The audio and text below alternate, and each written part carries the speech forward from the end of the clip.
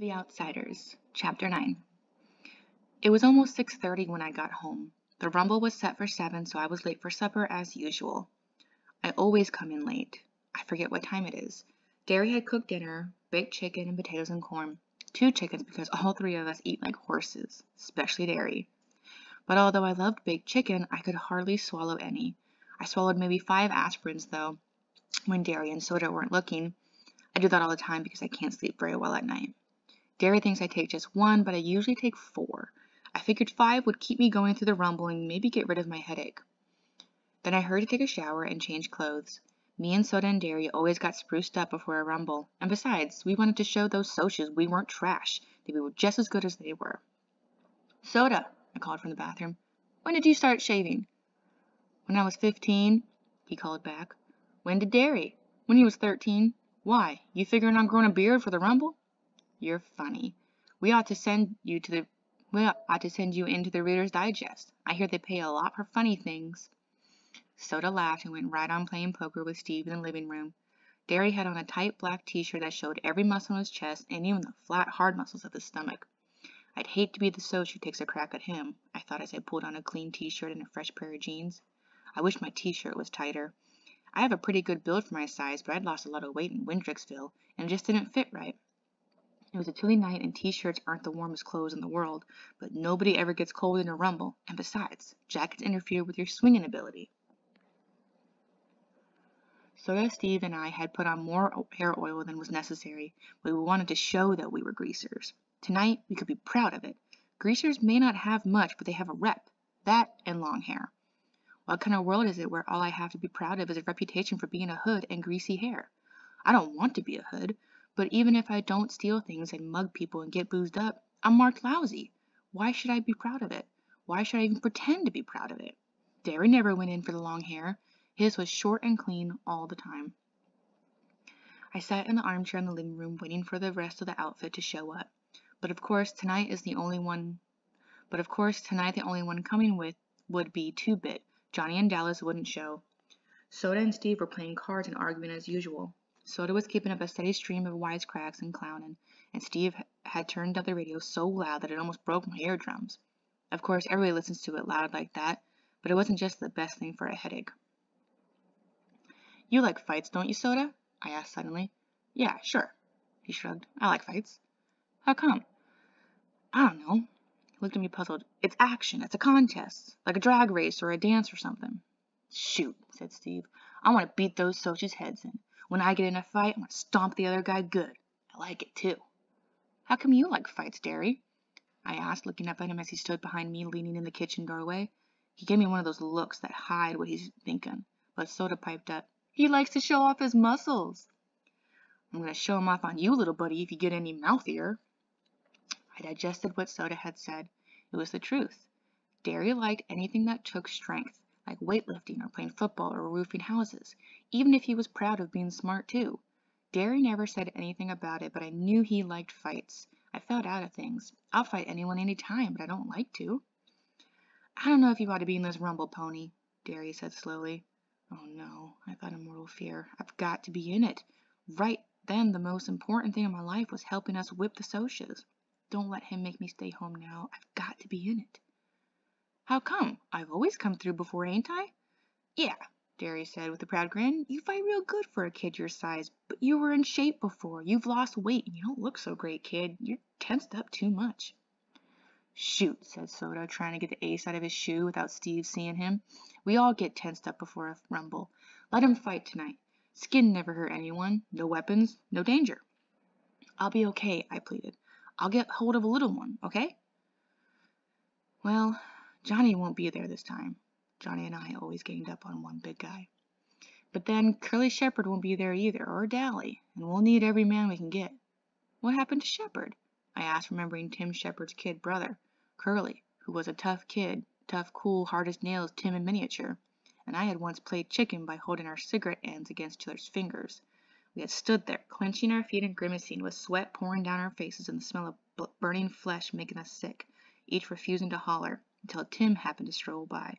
When he saw that we were really burning holes in each other, he cracked our heads together, swearing to kill us both if we ever pulled a stunt like that again.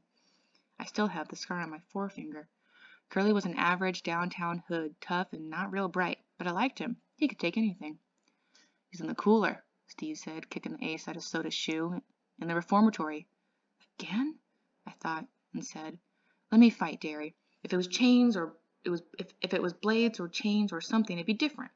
Never nobody ever gets really hurt in a skin rumble. Well, Darry gave in. I, I guess you can. But be careful, and if you get in a jam, holler and I'll get you out. I'll be okay, I said wearily. How come you never worry about Soda Pop as much? I don't see you lecturing him. Man, Darry grinned and put his arm across so Soda's shoulders. This is one kid, brother, I don't have to worry about. Soda punched him in the ribs affectionately. This kiddo can use his head. Soda Pop looked down at me with mock superiority, but Darry went on. You can see he uses it for one thing. To grow hair on. He ducked Soda's swing and took off for the door. Two Bit stuck his head in the door just as Darry went flying out of it, leaping as he went off the steps. Darry turned a somersault in midair, hit the ground, and bounced up before Soda could catch him. Well, Two Bit said cheerfully, cocking an eyebrow. I see we're in prime condition for a rumble. Is everybody happy? Yeah, screamed Soda as he too did a flying somersault off the steps. He flipped up to walk on his hands and then did a no hands cartwheel across the yard to beat Harry Darry's performance. The excitement was catching. Screeching like an Indian, Steve went running across the lawn in flying leaps, stopped suddenly, and flipped backward. We could all do acrobatics because Darry had taken a course at the Y and then spent a whole summer teaching us everything he had learned on the grounds that it might come in handy in a fight. It did, but it also got Two Bit and Soda jailed once.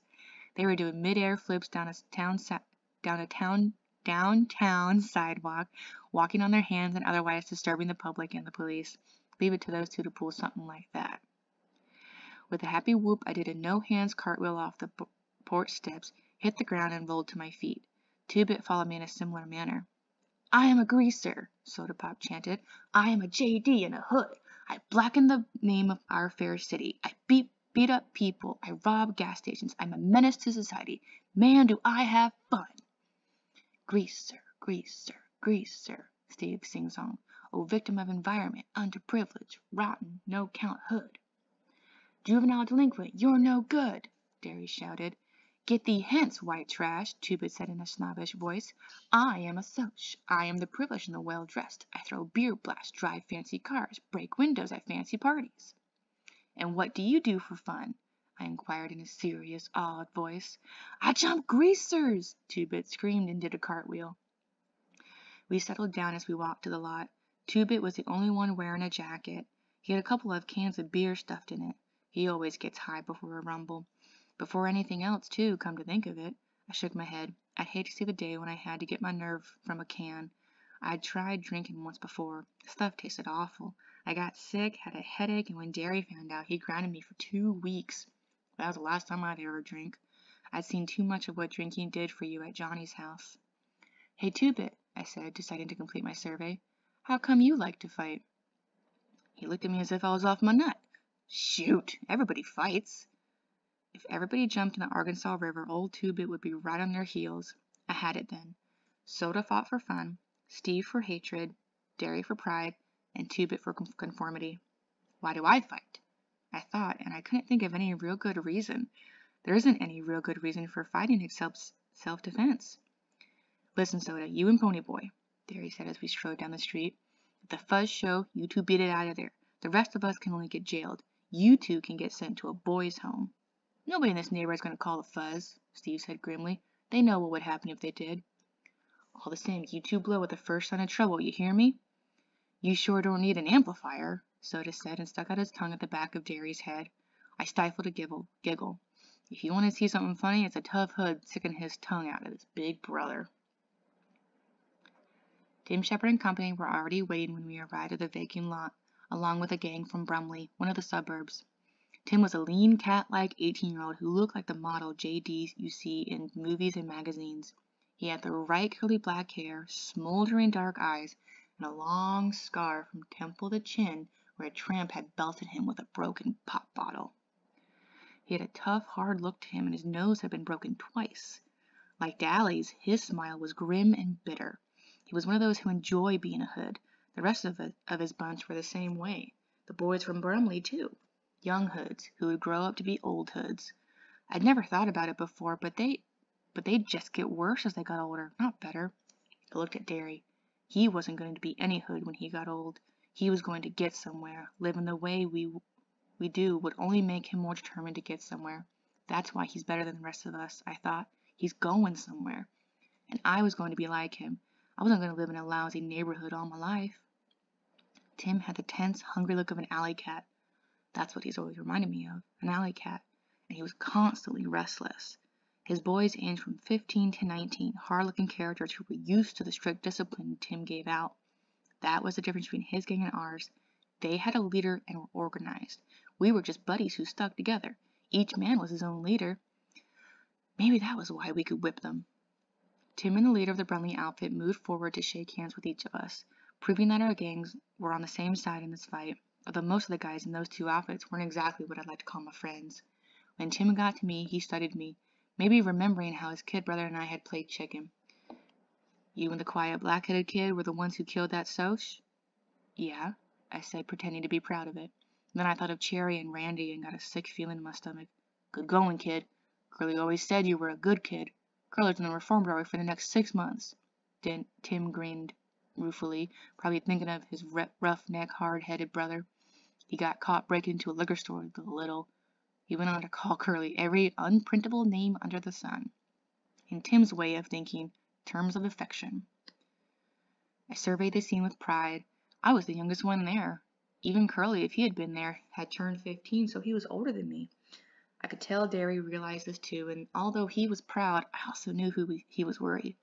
Shoot, I thought, I'll fight so good this time he won't ever worry about me again. I'll show him that someone besides Soda Pop can use his head. One of the Brumley guys waved me over. We mostly stuck with our own outfit, so I was a little leery of going over to him, but I shrugged. He asked to borrow a weed, then lit up. That big guy with y'all. You know him pretty well? I ought to. He's my brother, I said.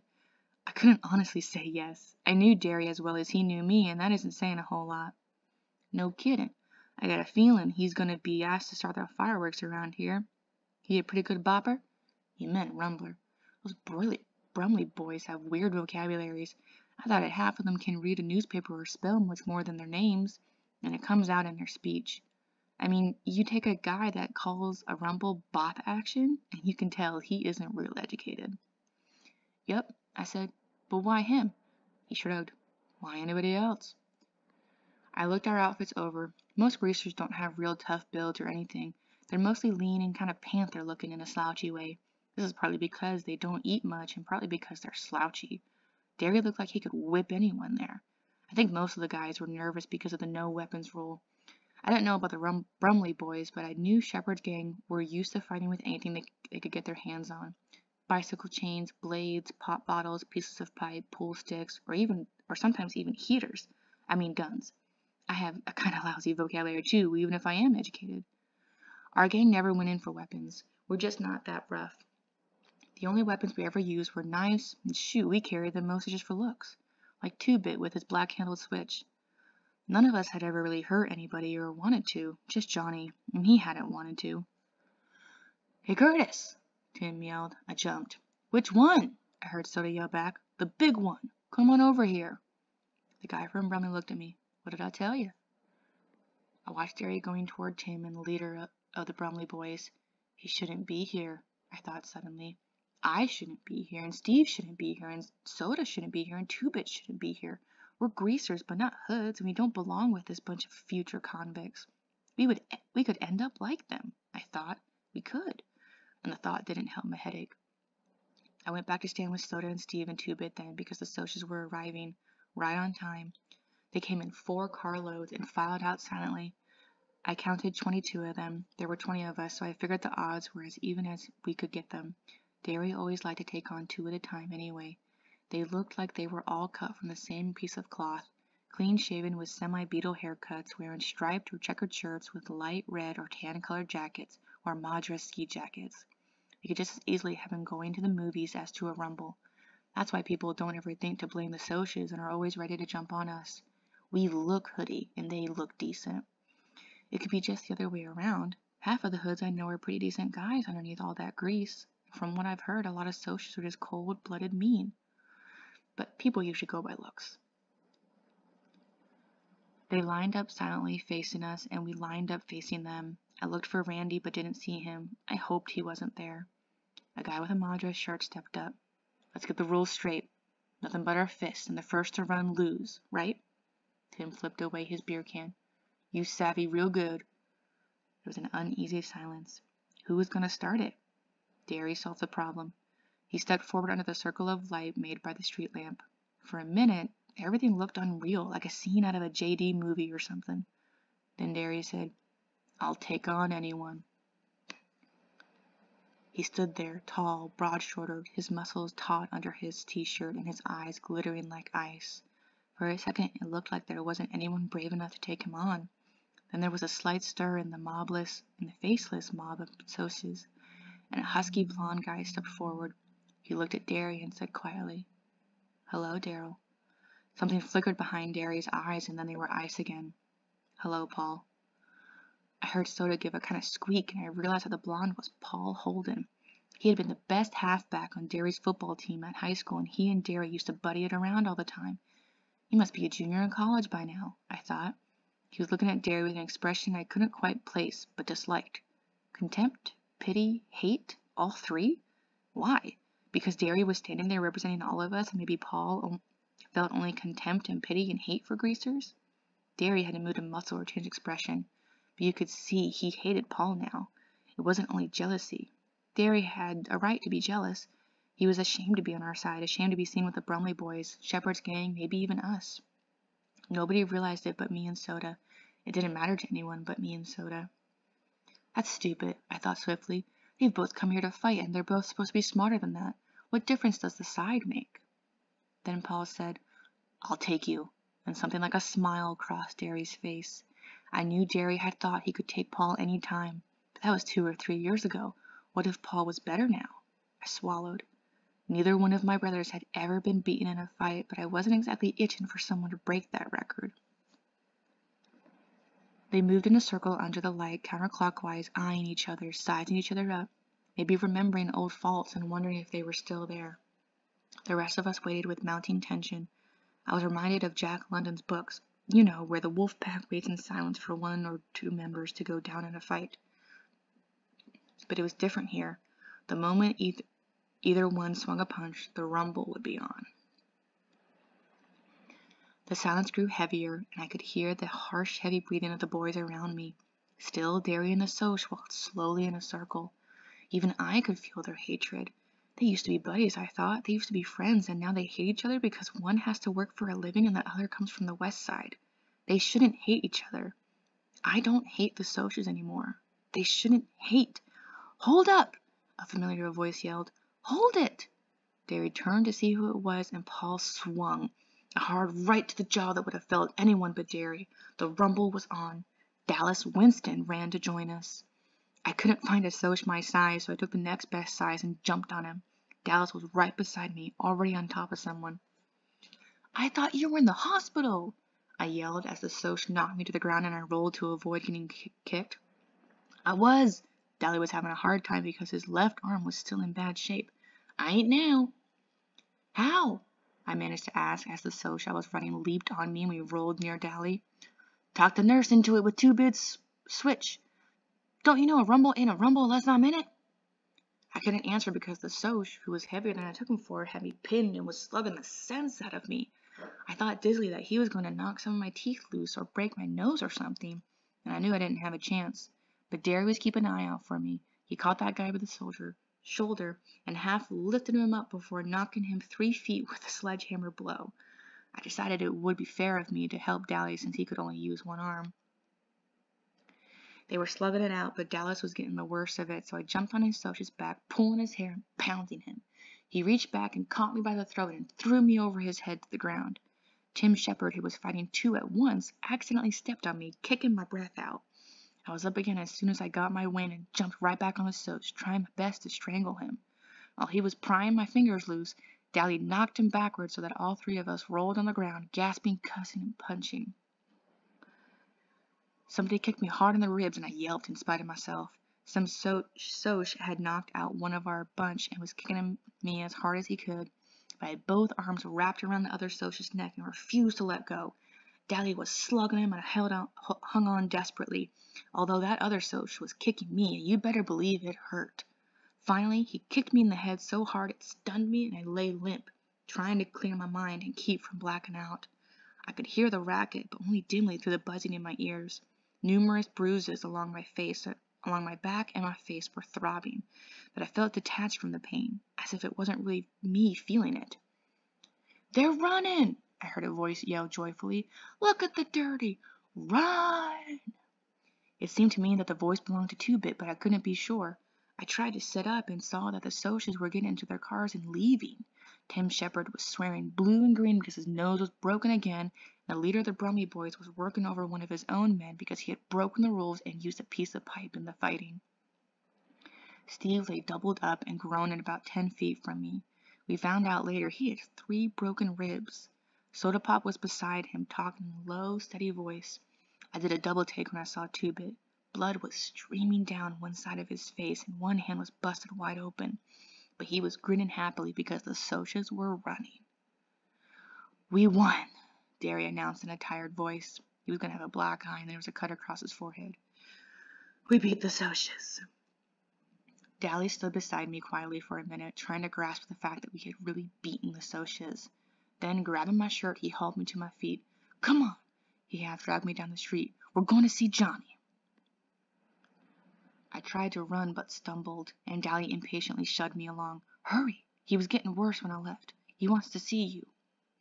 I don't know how Dallas could travel so fast and hard after being knocked around and having his sore arm hurt some more, but I tried to keep up with him. Track wasn't ever like the running I did that night. I was still dizzy and had only a dim realization of where I was of where I was going and why. Dally had Buck Merrill's T-Bird parked in front of our house, and we hopped into it. I sat tight as Dally roared the car down the street. We were on 10th when a siren came on behind us, and I saw the reflection of the red light flashing in the windshield. Look sick, Dally commanded. I'll say I'm taking you to the hospital, which will be truth enough. I leaned against the cold glass of the window and tried to look sick, which wasn't too hard, feeling the way I did right then. The policeman looked disgusted. All right, buddy, where's the fire? The kid. Dally jerked a thumb toward me. He fell over on his motorcycle and I'm taking him to the hospital. I groaned and it wasn't all fake out. I guess I looked pretty bad too, being cut and bruised like I was. The fuzz changed his tone. Is he real bad? Do you need an escort? How would I know if he's bad or not? I ain't no doc. Yeah, we could use an escort. As the policeman got back into his car, I heard Dally hiss, Sucker. With the siren ahead of us, we made record time getting to the hospital. All the way there, Dally kept talking and talking about something, but I was too dizzy to make most of it out. I was crazy, you know that kid? Crazy for wanting Johnny to stay out of trouble, for not wanting him to get hard. If he had been like me, he had never been in this mess. If he's got smart like me, he'd never have run into that church. That's what you get for helping people. Editorials in the paper and a lot of trouble. You better wise up, pony. You get tough like me, you don't get hurt. You look out for yourself, nothing can touch you. He said a lot more stuff, but I didn't get it all. I had a stupid feeling that Dally was out of his mind, the way he kept raving on and on, because Dallas never talked like that. But I think now I would have understood if I hadn't been sick at the time. The cop left us at the hospital as Dally pretended to help me out of the car. The minute the cop was gone, Dally let go of me so quick I almost fell. Hurry! We ran through the lobby and crowded past people into the elevator. Several people yelled at us, I think because we were pretty racked up looking, but Dally had nothing on his mind except Johnny, and I was too mixed up to know anything but that I had to follow Dally. When we finally got to Johnny's room, the doctor stopped us. I'm sorry, boys, but he's dying. We gotta see him, Dally said and flicked out two two-bit switchblade. His voice was shaking. We're gonna see him, and if you give me any static, you'll end up on your own operating table. The doctor didn't bat an eye. You can see him, but it's because you're his friends, not because of that knife. Dally looked at him for a second, then put the knife back in his pocket. We both went into Johnny's room, staying there for a second, getting our breath back in heavy gulps. It was awful quiet. It was scary quiet. I looked at Johnny. He was very still, and for the moment I thought in agony, He's dead already? We're too late? Dally swallowed, wiping the sweat off his upper lip. Johnnycake? He said in a hoarse voice. Johnny? Johnny stirred weakly, then opened his eyes. Hey, he managed softly. We won, Dally panted. We beat the Socs. We stomped them, chased them out of our territory. Johnny didn't even try to grin at him. Useless. Fighting's no good. He was an awful white. Dally flicked his lips nervously. They're still writing editorials about you in the paper, for being a hero and all. He was talking too fast and too calmly. Yeah, they're calling you a hero now and heroizing all the greasers. We're all proud of you, buddy. Johnny's eyes glowed. Dally was proud of him. That was all Johnny had ever wanted. Ponyboy. I barely heard him. I came closer and leaned over to hear what he was going to say. Stay gold, pony boy. Stay gold. The Pillow seemed to sink a little, and Johnny died. You read about people looking peacefully asleep when they're dead, but they don't. Johnny just looked dead, like a candle with the flame gone. I tried to say something, but I couldn't make a sound. Dally swallowed and reached over to push Johnny's hair back. Never could keep that hair back. That's what you get for trying to help people, you little punk. That's what you get. Whirling suddenly, he slammed back against the wall. His face contracted in agony and sweat streamed down his face. Damn it, Johnny, he begged, slamming one fist against the wall, hammering it to make it obey his will. Oh, damn it, Johnny, don't die. Please don't die. He suddenly bolted through the door and down the hall.